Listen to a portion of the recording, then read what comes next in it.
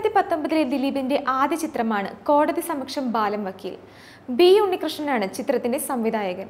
മലയാളത്തിൽ ഒരുപിടി മികച്ച ചിത്രങ്ങൾ സംവിധാനം ചെയ്ത ബി. ഉണ്ണികൃഷ്ണന്റെ ആദ്യ ദിലീപ് ചിത്രമാണ് കോടതി സമക്ഷം ബാലൻ വക്കീൽ.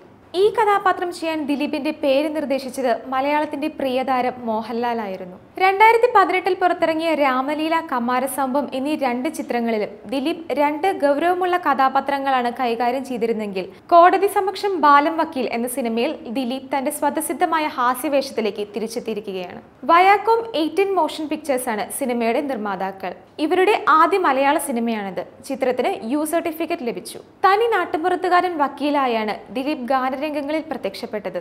പാട്ടിലുടനീളം ഗ്രാമീണ സൗന്ദര്യം നിറഞ്ഞു നിൽക്കുന്നു. വളരെ നാളുകൾക്ക് ശേഷം ദിലീപ് ചിത്രത്തിൽ നല്ലൊരു ഗാനം കേൾക്കാൻ സാധിച്ചതാണ് സാമൂഹ്യ മാധ്യമങ്ങളിലെ പ്രതികരണം. ബാലൻ വക്കീലാണ് ദിലീപിന്റെ കഥാപാത്രം. ആശയങ്ങൾ വ്യക്തമായും കൃത്യമായും കൈകാര്യം ചെയ്യേണ്ട വക്കീലിന് വിക്കുണ്ടെങ്കിൽ സംഭവിക്കാൻ പോകുന്ന കാര്യങ്ങളാകും. തീർത്തും സ്വാഭാവികമായ അഭിനയ ശൈലിയിൽ ദിലീപ് അവതരിപ്പിക്കുന്നത്. കോമഡി മാത്രമല്ല ആക്ഷനും ത്രില്ലും കോർത്തിണക്കിയ ഒരു മുഴുനീള എന്റർടൈൻമെന്റ് ആയാൽ ജനപ്രിയ നായകന്റെ മറ്റൊരു ജനപ്രിയ ചിത്രം കൂടിയാകും ഇത്. ടു കൺട്രീസിന് ശേഷം അജു വർഗീസും മമത മോഹൻദാസും ദിലീപും ഒന്നിക്കുന്ന ചിത്രത്തിൽ സുരാജ് വെഞ്ഞാറമൂട് സൈജു കുറുപ്പ് സിദ്ദിഖ് ബിന്ദു പണിക്കർ പ്രിയ ആനന്ദ് എന്നിവരും ഉൾപ്പെടുന്നു. പാസഞ്ചർ സിനിമയ്ക്ക് ശേഷം ദിലീപ് അഭിഭാഷക വേഷത്തിലെത്തുന്ന സിനിമയാണിത്